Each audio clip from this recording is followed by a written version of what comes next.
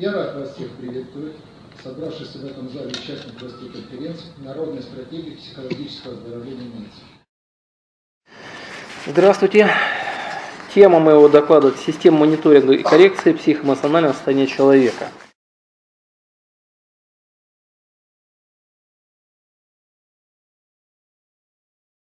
Моя компания поставила задачу, по сути, создать э, оборудование, ну, проще говоря, градусник для психолога.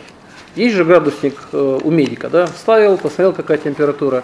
Так и мы решили создать такой приборчик, при помощи которого подключается к компьютеру, человек берет в руку электрод, и вы на мониторе, задавая ему вопросы, видите, какая у него реакция. И можете тем самым определять, это вытесненное, э, вытесняет он это, либо вторичная выгода, либо у него там болезненная реакция, подавленные эмоции. Ну, чтобы понятно было, вот один из примеров, если будет видно, это проведение диагностики э, школьников. То есть школьник берет в руку электрод, и у него спрашивают, какие предметы ты изучаешь. Он их называет. Дальше по каждому предмету дай оценку. Он дает оценку. В итоге мы получаем некую шкалу, по которой видим сознательная оценка и реакция на приборе. В некоторых местах, где сознательная оценка расходится с реакцией на приборе, мы можем сказать, что здесь либо э, ребенок не может оценить эмоциональную нагрузку, которая у него вызывается этим предметом, либо э, это эмоциональная нагрузка уже вытеснена настолько, что он не воспринимает. Следовательно, именно с этим предметом у него и будет самая большая проблема.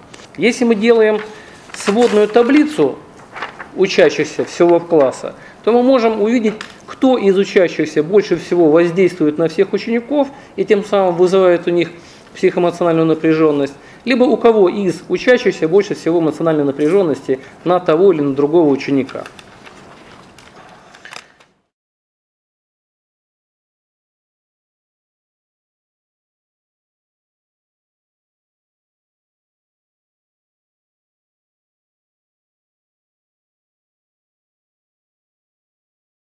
Этот градусник можно использовать не только для диагностики, но и также для коррекции психологической.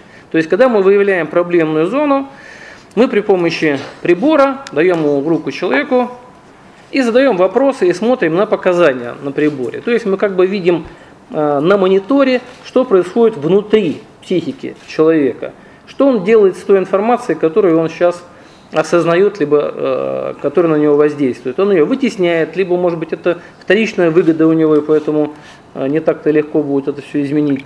То есть мы с вами можем в реальном режиме времени наблюдать, что происходит внутри у человека, и таким образом направлять его внимание на ту причину, которая является, которая создает вот э, психологические барьеры, либо какие-то сложности у него.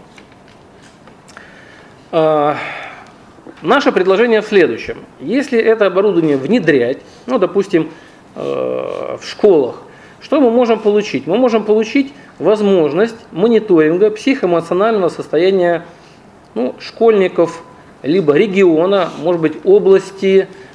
Вот, собственно говоря, наша разработка, этот градусник, либо э, называется индикатор психоэмоциональной напряженности. На него есть патент, как на изобретение в области психологии – и наше предложение ну, не пропустить это изобретение и внедрять его в Российской Академию Психологии. Спасибо за внимание. Надеюсь, ваша разработка не останется без внимания. Спасибо.